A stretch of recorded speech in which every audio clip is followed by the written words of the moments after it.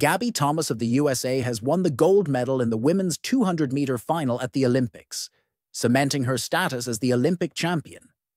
Julien Alfred claimed the silver, while Brittany Brown narrowly edged out Dina Asher Smith and Daryll Neita to take the bronze.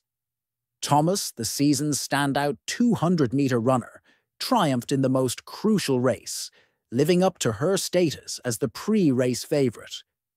She demonstrated her exceptional strength and consistency by winning all the key races leading up to the Olympics, despite the immense pressure and competition from other top athletes, including the 100 metre champion. Thomas executed a flawless and controlled race. In contrast, Dina Asher Smith, who finished fourth, might reflect on her performance and see a missed opportunity.